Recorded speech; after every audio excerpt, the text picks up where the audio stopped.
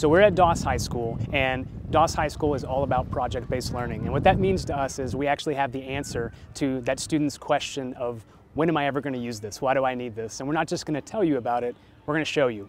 Um, so behind us, we actually have a food truck where our students are getting to understand what it means to start their own business. In their business class, you're going to see an activity where they have to create their own business plan. And instead of just showing them how to do that, we're going to introduce them to the people that have created their own business plans. The business plan was very detailed.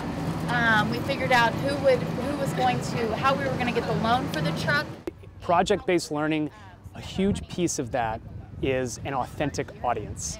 Our students are not just creating work or products for themselves or for a teacher, they're creating it for the real world. By seeing this group, what they have done, our students are going to be able to create their own business plan and present it to a panel, a panel of people who have gone through the process of creating their own business. Fries? Yeah, uh, three bucks.